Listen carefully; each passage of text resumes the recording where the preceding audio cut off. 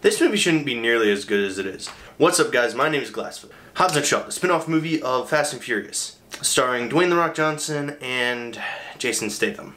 This is better than all the others. Like, seriously. So, honestly, I like the Fast and Furious franchise. I like them because they're dumb.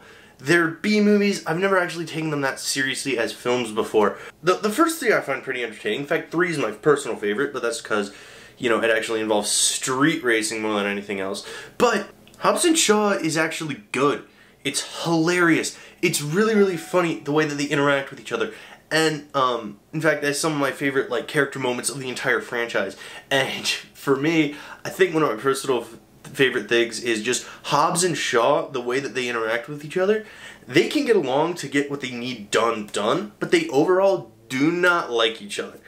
That is just a fact, and it's really, really funny to see how that gets played with. They're just, it's a legitimately funny film. It feels more like a comedy than an action movie, which um, for this I feel like makes a lot of sense and actually works really, really well. One of the greatest things about this movie is the comedy. The Rock is a really good comedic actor in terms of how he's able to pull off. Jason Statham also did really, really good as comedy, which you wouldn't really expect considering they're both action stars, but they managed to pull off the comedy really, really, really well. Um, Kevin Hart actually shows up for a minute, and his character is so freaking funny. Um, ooh, Ryan Reynolds is also in this movie. Ryan Reynolds' character, Locke. Ah, he made my day so much. This movie is worth the price of admission solely for Ryan Reynolds' performance. Like, seriously, if you don't want to see this movie for any other reason, go watch it for Ryan Reynolds. It is amazing. There's a lot more action um, than like a normal comedy. Um, there's a lot, there's a good number of fights and whatnot. Jason Statham and The Rock uh, Jason Statham especially always brings really, really good energy to his fight scenes and all that.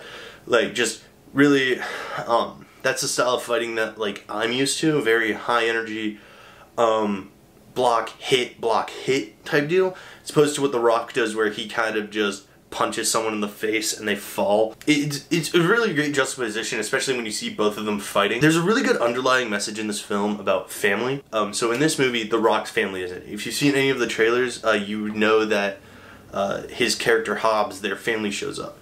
But you find out why he doesn't talk about them. He...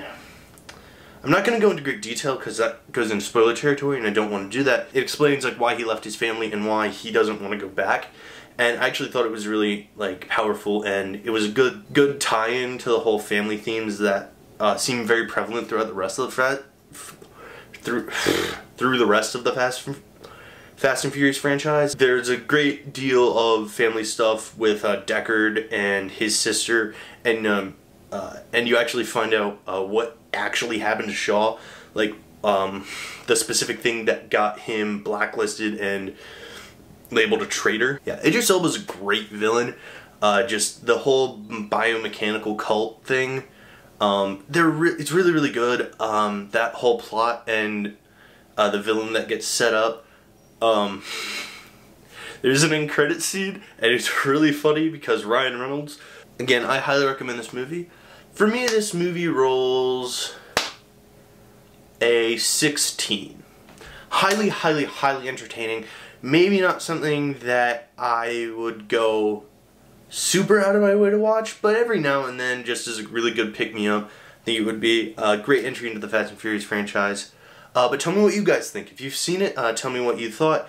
If you thought it was good, bad, any of the things in between.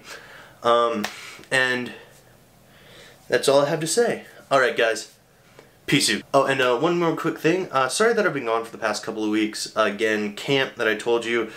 Um, hopefully vi my videos will pick up. Um, potentially not reviews. There's not a ton of stuff coming out for a couple of weeks that I really want to see, and I don't get to see everything anyway. Um, probably not going to do a Lion King review. Um, would just be me ranting at the camera about how it sucks compared to the original. I don't like the Disney live action remakes in any way. Um, but so yeah, hopefully other content that I have picks up, and I'll probably be, I will try to release a video soon explaining the other types of content and whatnot that I want to put on this channel. Alright, for real guys this time, peace out.